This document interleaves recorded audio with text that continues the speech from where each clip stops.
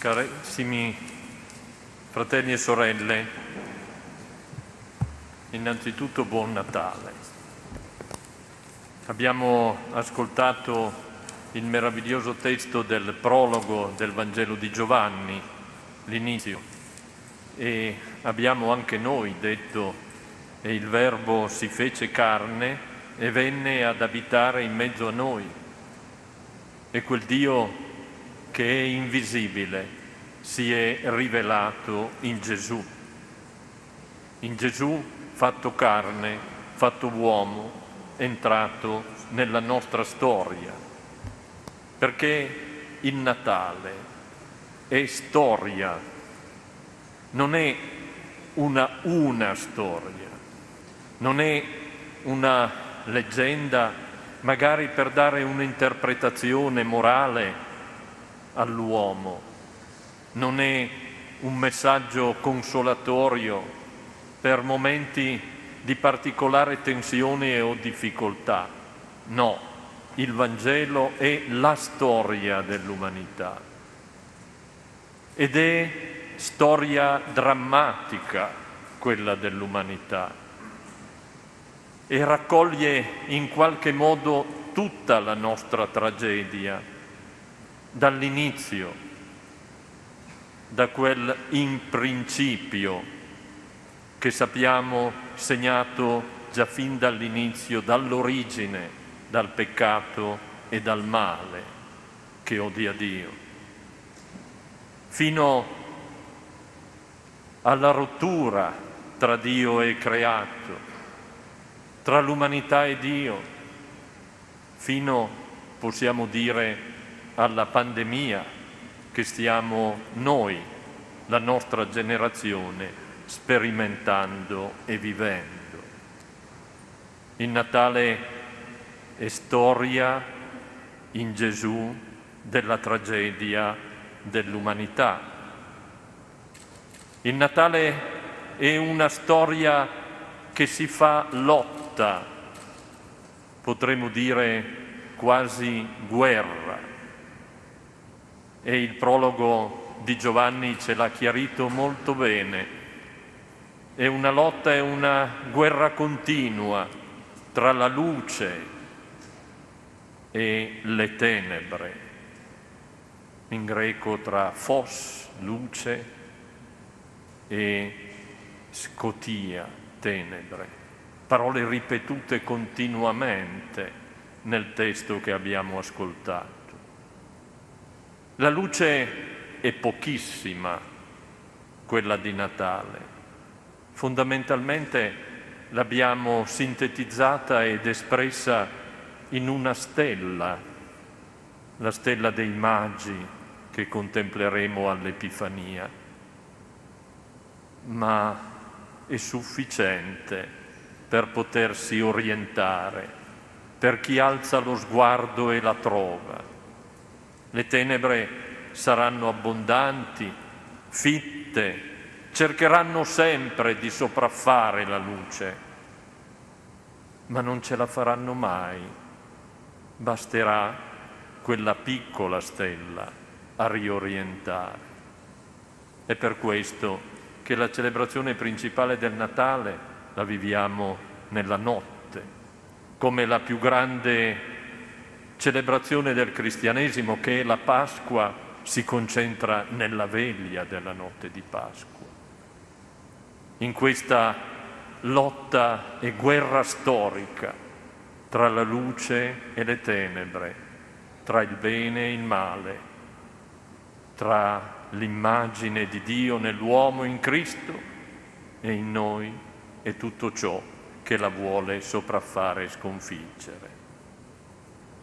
Il Natale in questa situazione storica, in questa storia, appare quasi la sconfitta di Dio.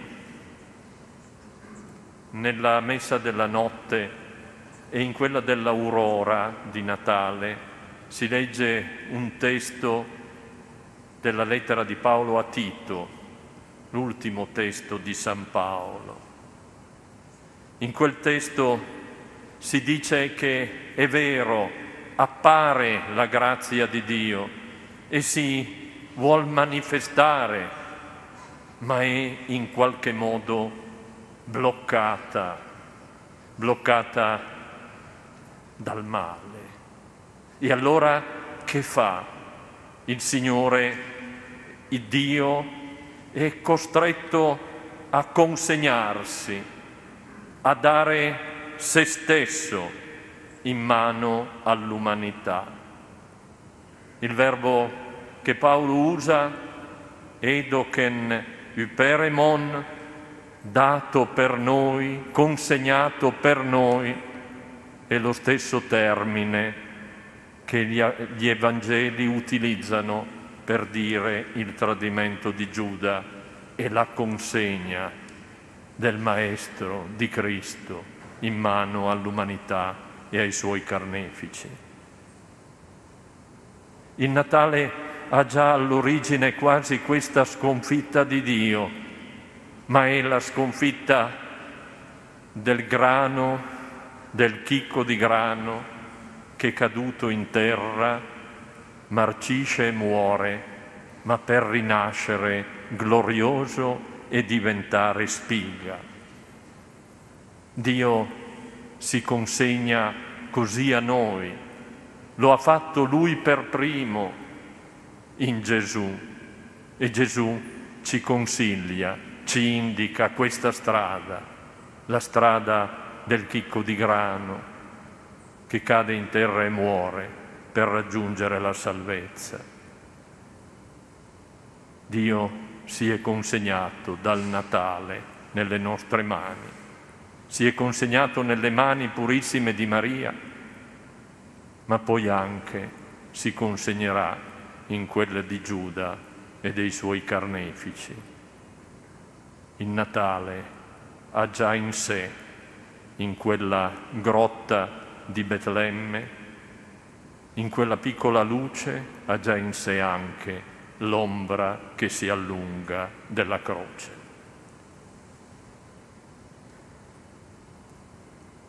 Il Natale non ha bisogno di grandi parole, anzi ha bisogno di un'unica parola, Gesù. Perché la parola, Gesù, Cristo, si è fatto carne, è diventato carne. Allora non c'è più bisogno di granché, non c'è più bisogno di grandi discorsi, nemmeno di questo mio tentativo di omelia. C'è bisogno di accogliere nella nostra carne questa parola. C'è bisogno di diventare carne come la sua per dare testimonianza e vita. Sempre se ascoltavamo il testo della lettera a Tito di cui ho detto prima, avremmo anche ascoltato questa parola. Dice Paolo, apparirà la bontà, la benevolenza e l'amore del prossimo. Il testo però, tradotto con bontà, in greco, è originale ed è molto bello, è Christotes, che dice Cristo la benevolenza è trasformare noi stessi in Cristo. È facile? Forse no, ma è un cammino possibile. Se ci trasformiamo, facciamo di noi e in noi i sentimenti di Gesù, saremo veramente quella benevolenza e quell'amore al prossimo che dice la parola unica, il Logos che si è fatto carne. La nostra carne, la nostra vita diventerà in qualche modo cristificata, simile a Lui, al suo comportamento, ai suoi sentimenti, ai suoi atteggiamenti. Entreremo in quella che possiamo chiamare la cultura della cura. Il Natale è essenzialmente cultura della cura. Maria accoglie il figlio, lo avvolge in fasce, lo depone in una mangiatoia. Non c'era altro, ma inizia l'immagine della cura. Termine che questa pandemia ci ha riportato fortemente alla nostra attenzione e al nostro impegno, al nostro dovere. Dobbiamo renderci conto che la vita nasce dalla cura, parte dal fatto che qualcuno si prende cura e questo qualcuno è innanzitutto Dio con la creazione e poi lo affida all'umanità, alle culture che si prendono cura. Ma ognuno di noi poi è chiamato crescendo, dopo aver sperimentato di essere stato curato, accudito, ha bisogno di prendersi cura del prossimo, della creazione e degli altri. E questo prendersi cura è l'amore che ci fa uscire e ci esalta, in qualche modo è l'esperienza dell'estasi. Vi voglio leggere, e ho portato il breve testo scritto, quanto dice Papa Francesco nell'ultima enciclica, Fratelli tutti, al numero 88. È un numero breve ma fondamentale per questo atteggiamento della cura e credo per oggi, per la situazione che viviamo. Dice così, dall'intimo di ogni cuore, ogni cuore, tutti. L'amore crea legami e allarga l'esistenza.